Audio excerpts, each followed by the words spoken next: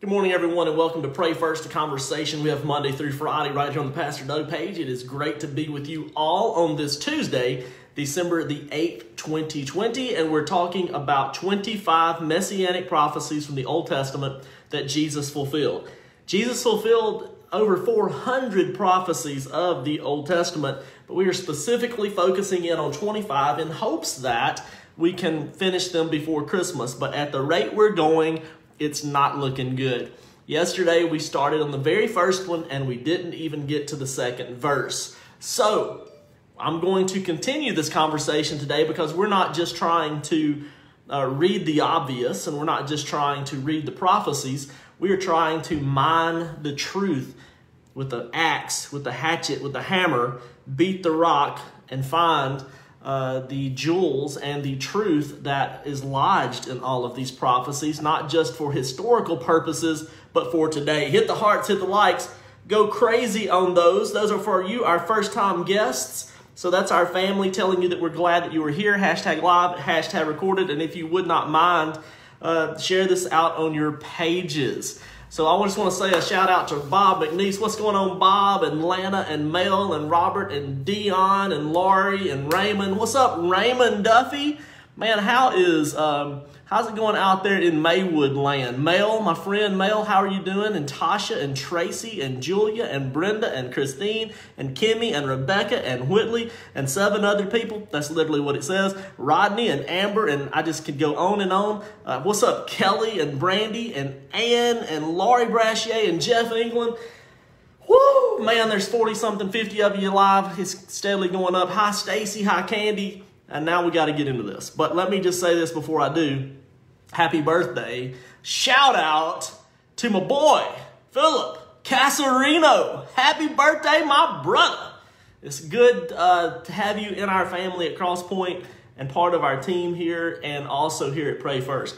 So let's jump right in. The Messiah uh, had 25 prophecies that we're talking about the prophecy and the fulfillment of that prophecy. And we're starting in Genesis chapter 3, 15. If you missed yesterday, you better get on it. Genesis chapter 3, verse 15 says, This is God speaking to the serpent, Diabolos, the snake in the Garden of Eden, after he has uh, deceived Eve and Adam into partaking of the fruit. He says, This is what will happen of you.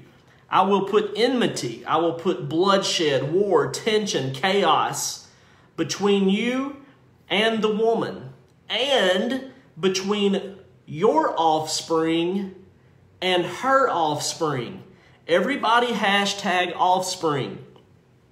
On yesterday, we really developed the idea of offspring. When you read those verses, you know this is a messianic prophecy you immediately lean towards the offspring of Eve, which would eventually be the offspring of Mary, which would be the Son of God. And we think, well, that's the enmity. That is that, that's the warfare between, between God and his enemies. But it says more than that. It says, I'm going to put enmity between you, Lucifer, you snake, everybody hashtag snake, between your offspring and hers. What is the offspring of Diabolos? What is the offspring of Lucifer? Now that's in the New International Version that it uses the term offspring. Let's read it in Genesis chapter 3 verse 15 from the New King James Version. Remembering that Jesus is the Word of God, He is the offspring of God, he is the seed of God, and he is the result in human flesh of the spermata of God and the womb of Mary, bringing forth all God and all man. Unto us a child has been born. That child belonged to Mary. Unto us a son has been given. That son belonged to God. Jesus is the offspring, the unique, only begotten, all man, all God, Son of God. but it refers to the offspring of Satan, the offspring of Lucifer. Listen to the word that is used here in the New King James Version. I will put enmity between you and the woman, and between your seed, small s, not capital. It is not referring to a proper noun. It's not referring to a name. Your offspring, Lucifer, is not a name. And her seed, capital S, which is a name, the name above every name. So they took the word offspring out and replace it with seed, or they take the word seed out and replace it with offspring. Jesus is the Word of God. I want you to remember the soils of Mark chapter 4. And the seed was spread on soil. The seed is the Word of God. The soil is our hearts. But there's more than one seed.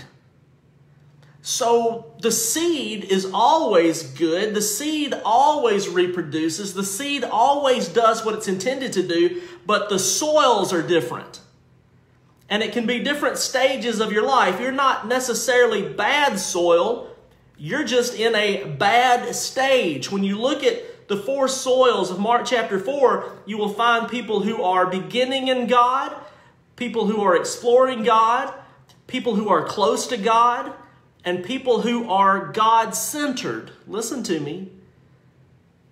What seed have you allowed to take root in your soil? What do you think the thorns grow out of that choke out the Word of God? Where do those thorns come from? Where, where do the weeds come from that, that grow up and choke out the Word of God?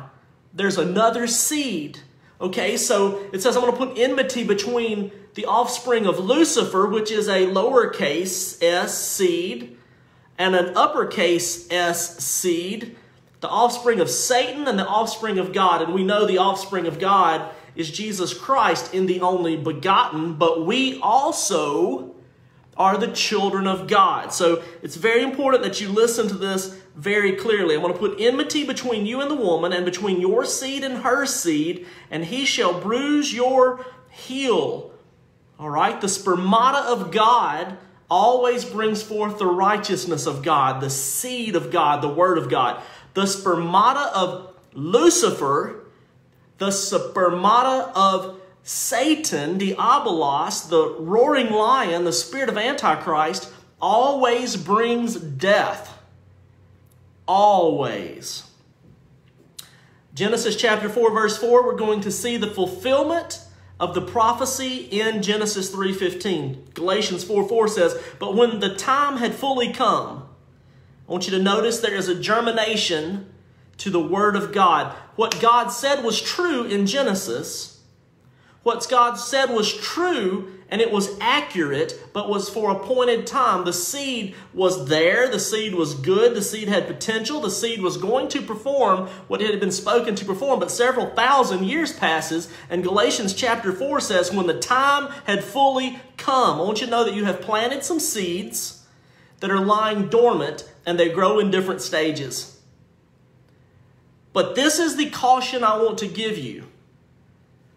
Not only does the seed spermata word of God come at an appointed time, so do the seeds of Lucifer. So do the seeds of Diabolos. What seeds are lying dormant in your life since you have come to Christ? Do you think they will never sprout up? Wise people understand that yesterday come on, is connected to today. And today will show up in tomorrow. It is the principle, it is the law of seed time and harvest.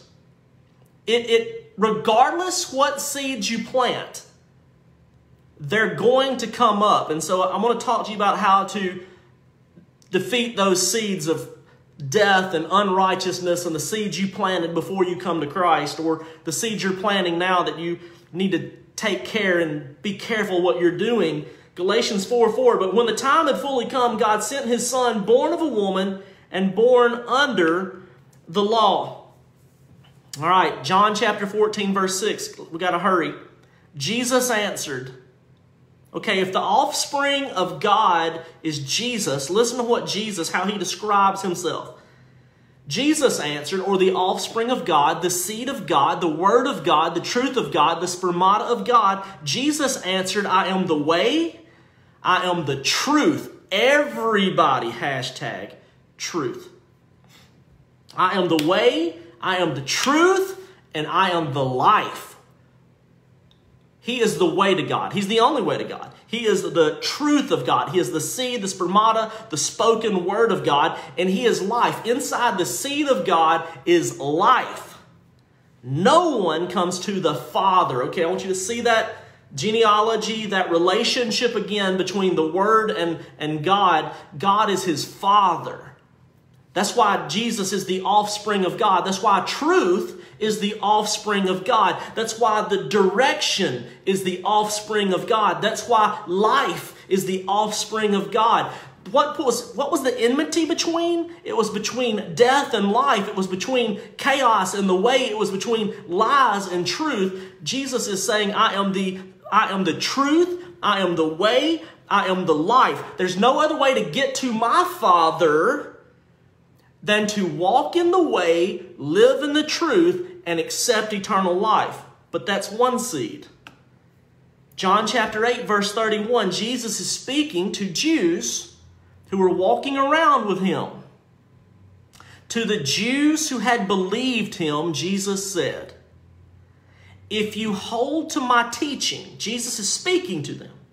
If you hold to my teaching, you are really my disciples then you will know the truth, and the truth will set you free. So the Word of God, the spermata of God, the seed of God, the offspring of God is the truth, and the truth will set you free because Jesus says, I am the truth. I am the way, I am the truth, I am the life. Then they answered him and said to Jesus, We are Abraham's offspring. We are Abraham's descendants. We're of the seeds of Abraham and have never been slaves to anyone. I want you to recognize how utterly, galactically, impossibly, immeasurably stupid that statement is.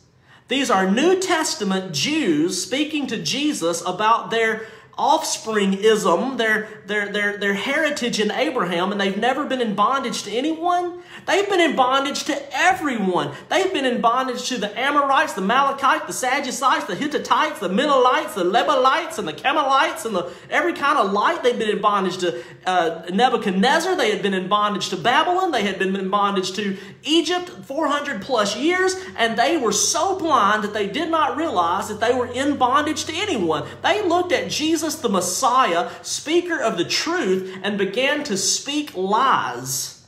And they didn't even know they were speaking lies. We've never been in bondage to anyone. Have you lost your ever loving mind? You've been in bondage to every nation, every tribe, every group, every pagan and hostile king in the history of mankind, and you don't even know you're in, in bondage. You're speaking lies. And listen to how Jesus responds to their blindness and to their lying. Jesus replied, Very truly, I tell you, everyone who sins is a slave to sin. Now, a slave has no permanent place in the family. We're back to offspring. We're back to spermatozoa. We're back we're back to these very core roots. He says no slave has a permanent place in the family or in the truth or in the way or in the life. No one comes to God who is a slave to sin, but the Son belongs to it forever. But a son, not capital S son, but you and I, the sons and daughters of God, we who are part of the family of God, walkers in the way, livers in the truth, and recipients of eternal life, we're there forever. So it is. The Son sets you free. You will be free indeed. I know that you're Abraham's descendants and you're looking for a way to kill me because you have no room for my word. What did Mary say to the angel? Let it be done unto me according to your word, according to your spermata, according to your seed. Jesus says to these descendants of Abraham, You're so full of the spawn or the seeds or the spermata of Lucifer, you have no room for my word. So when I reach out to offer you freedom, you can't recognize truth from lies. You are blind. You have no room for my word. Verse 38 I'm telling you what I have seen in the Father's presence. He's referring to him as Father again, and you are doing what you have heard from your Father. Jesus said, I'm speaking to you from what I've heard from my Father. I am the offspring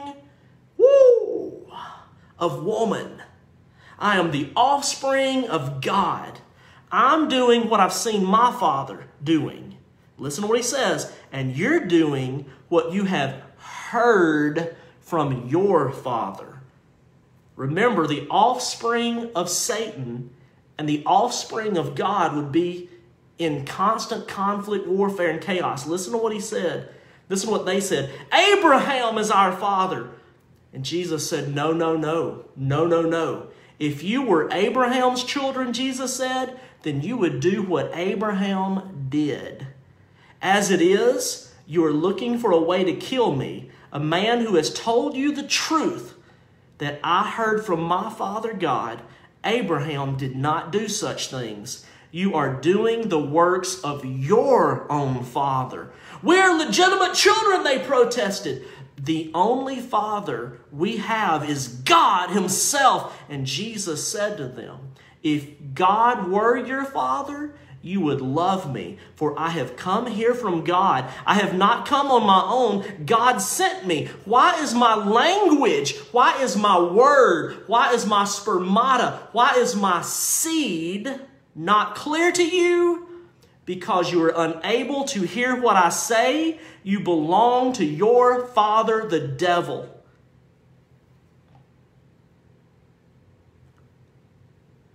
The offspring of Lucifer in the garden, the offspring of the snake that would be in enmity, in warfare, in tension, in chaos, and try to kill the seed of God you belong to your father, the devil, and you want to carry out your father's desires. He was a murderer, not holding to the truth, truth, for there is no truth in him. When he lies, he speaks his native language, his native seed, his native word, his native spermata. He is, look, look here, you say, well, Satan, Lucifer, is the father of what? Jesus says it right here clearly in verse 44. He is the father of liars. He is the father of lies. I got to hurry. Luke chapter 10, verse 19. Good news. Great news.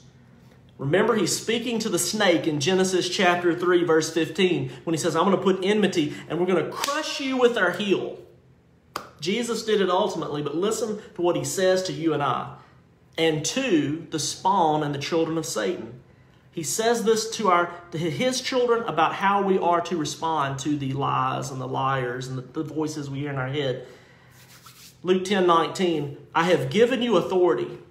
Who? Disciples, followers, walkers in the truth, seekers of the truth, children of the living God, those who have room for the word of God inside of them. I have given you authority to trample on snakes and scorpions and to overcome all the power of the enemy, and nothing by any means shall harm you. Proverbs chapter 18, 21. Listen to me. Now you have the power and the authority to speak life and death you can speak the words of your father Lucifer, or you can speak the words of your father God. It's not just what you hear that matters, it's what you say. Proverbs 18:21, death and life are in the power of the tongue. Why? Because our language, our word is our seed. The offspring of our mouth We are created in the image of likeness of God that says, when He says, let there be, there is. I have given you the authority and the power to trample on snakes and scorpions and all the power of the enemy, and nothing shall by any means harm you. Don't just be careful about what you hear. Be careful about what you say. Be careful about what you type. Be careful about what you post. man, in, in, in, in the garden, when Adam and Eve partook of the knowledge, the resources of, when they partook of the word of good and evil, for the very first time they began to hear and speak from the father of lies. And uh, initially, all I could hear was God. But the moment they took the fruit, the seed, the word, the spermatozoa of Lucifer, the offspring, became alive in them, and they began to believe the lies. Not only did they begin to believe the lies, they began to speak the lies. God said, Who told you you weren't enough? Who told you you were unworthy? Who told you that I didn't love you? Who told you that I don't have a plan for you? Who told you that you will always be lonely? Who told you that you will always be anxious? Who told you that you'll always be sick? Who told you that you were afraid? Who told you that you were naked?